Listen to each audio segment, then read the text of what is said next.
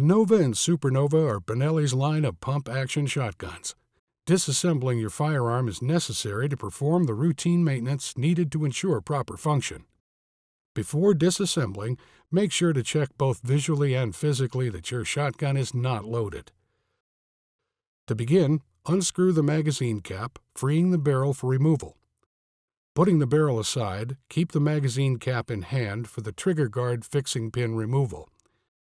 Using the raised knob on the top of the magazine cap, push the two pins so the pinheads are protruding. Flip the cap over and use the grooved edges to hook the pinheads and extract the fixing pins. The trigger assembly may now be pulled out.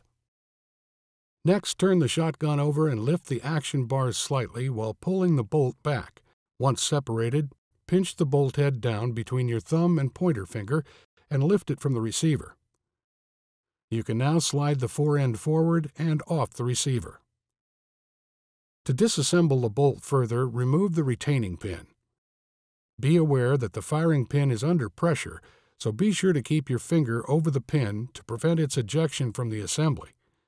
Your Nova or Supernova is now ready for maintenance.